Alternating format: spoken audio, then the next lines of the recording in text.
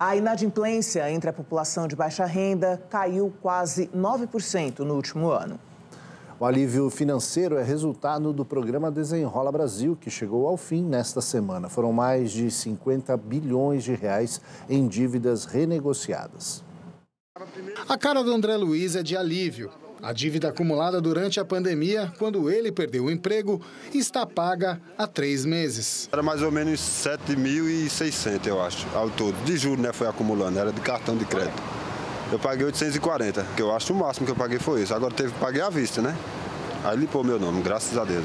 É sinal de liberdade de novo, né? É como se nós estivéssemos presos e voltasse a estar na rua de novo.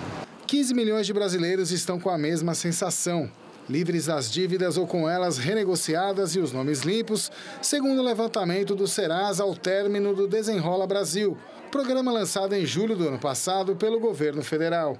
Foram renegociados 53 bilhões de reais em dívidas. Metade desse montante era de contas acumuladas pela população de baixa renda. Quase 9% deles já não estão mais inadimplentes. Isso só foi possível porque na renegociação foram dados descontos de 83% em média.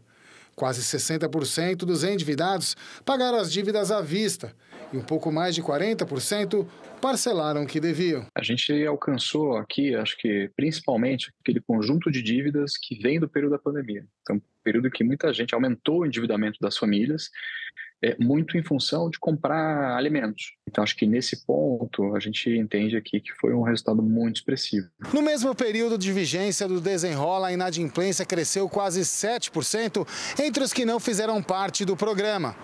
Para os economistas, o endividamento precisa ser combatido com educação financeira e mais informação, inclusive por parte das instituições financeiras, que muitas vezes concedem empréstimos sem falar dos riscos. Isso sim deveria ser muito melhor esclarecido e em linguagem mais clara, porque muitas vezes as pessoas não têm muita noção de taxa de juros, de juros compostos, de quanto que isso vai acumulando ao longo do tempo e de como que uma dívida pequenininha às vezes pode se tornar uma dívida impagável.